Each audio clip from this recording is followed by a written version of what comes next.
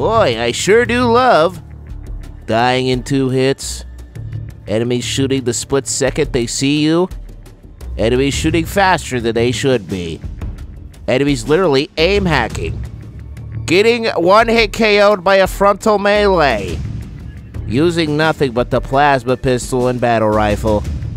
Instantly killed by a beam rifle. The flood being tankier and faster and then reviving. Vehicle sections where the vehicle you enter is now as weak as you.